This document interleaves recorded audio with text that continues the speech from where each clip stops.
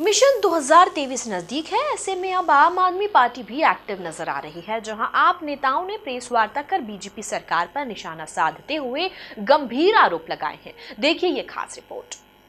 आम आदमी पार्टी के राष्ट्रीय परिषद सदस्य और पूर्व जिलाध्यक्ष डॉक्टर पीयूष जोशी ने महू के डोंगर गाँव में हुए आदिवासी हत्याकांड के बारे में सरकार की आलोचना की जोशी ने कहा कि जहाँ एक तरफ़ अपराधी एवं नशा माफिया बेखौफ हैं, वहीं पुलिस दूसरी तरफ़ निर्दोष आदिवासियों पर गोली चला रही है। यह हत्या मंदसौर गोली चालन की याद दिलाती है जिसमें छह किसानों की मृत्यु हुई थी।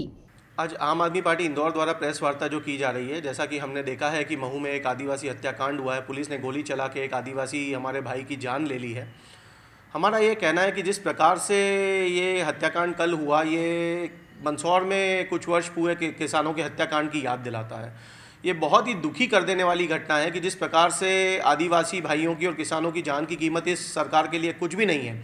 भारतीय जनता पार्टी और शिवराज सिंह ऐसे तो मामा बने फिरते हैं और भारतीय जनता पार्टी आदिवासियों की हितैषी होने का दावा करती है। एक मेलोड डाउन पैसा एक्ट लाके उनका रोदा होने का दावा करती है। वो सारी असलियत अब सामने आ चुकी है। इस मामले में आम आदमी पार्टी का कि ये मानना है कि जिस प्रकार से किसानों और आदिवासी भाइयों की और आम आदमी की जान की कीमत इस सरकार के लिए कुछ नहीं है।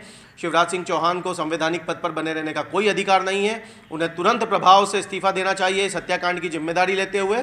और जिस प्रकार से आदिवासियों के हितों का हनन शिवराज सिंह चौहान और भारतीय जनता पार्टी द्वारा किया जा रहा है, उसके लिए उन्हें सार्वजनिक रूप से माफ़ी मांगनी चाहिए और उन अधिकारियों को तत्काल रूप से हत्या का 302 का मुकदमा कायम करके और उनकी तुरंत गिरफ्तारी की जानी चाहिए। एक अन्य मामले में लक्ष्मण सिंह चौहान तरण पुष्कर प्रांगण में स्थित जिम्नेजियम की लीज में भ्रष्टाचार का मामला उठाते हुए जोशी ने कहा कि मात्र एक हज़ार रूपए प्रतिमाह के किराए पर एक बड़ा हॉल जिम संचालन हेतु दिया गया है एवं पिछले 20 वर्ष से भी अधिक समय से इस लीज का नवीनीकरण नहीं किया गया है। यह हॉल इन शर्तों के साथ आवंटित किया गया था कि संचालक कोई लाभ उपरोक्त गतिविधि से नहीं कमाएँगे। वास्तविकता में इस जिम के संचालन से लाखों रुपये प्रतिमाह की आय अर्जित की जा रही है। देखिए एक आ, हमारे संज्ञान में एक मामला आया था। आरटीआई के माध्यम से कुछ कागज़ हमारे पास प्राप्त हुए थे। उसमें हमें पता पड़ा कि लक्ष्मण सिंह चौहान जो तरण पुष्कर है जो कि इकलौता हमारा शहर का एक ओलंपिक साइज़ तरण पुष्कर है उसके अंदर एक हॉल को किराए से दिया गया मात्र एक हज़ार रुपये प्रतिमाह के लीज रेंट पे। अब मेरा यह कहना है कि जिस प्रकार से हॉल किराए पे दिया गया, उसमें कुछ लीज शर्तें थी। वो लीज शर्त ये थी कि उस प्रकार से किसी भी प्रकार का लाभ अर्जित, जो संचालक है, उसके द्वारा नहीं किया जाएगा। जबकि लाखों रुपए जो फ़ीस है, जो जिम में आने वाले बच्चे हैं, उनसे फ़ीस वसूली जा रही है और लाखों रुपए का लाभ अर्जित किया जा रहा है। पिछले 20 वर्षों से, लगभग सन 2000 से, है ना मनोज? 2000 से 2000 से उस जिम्नेजियम के लीज रेंट में कोई बढ़ोतरी नहीं की गई है।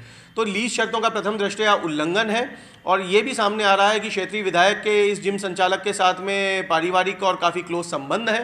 जिस प्रकार से राजनीतिक प्रश्रय और प्रथम दृष्टया भ्रष्टाचार का मामला बनता है, नगर निगम के भ्रष्टाचार से हम कोई अछूते नहीं, हम सब जानते हैं कि नगर निगम में किस प्रकार से भ्रष्टाचार बुरी तरीके से व्याप्त है।